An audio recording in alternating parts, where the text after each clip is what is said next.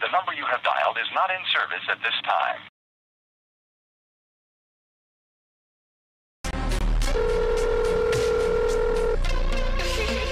We're sorry, the number you have dialed is not in service at this time.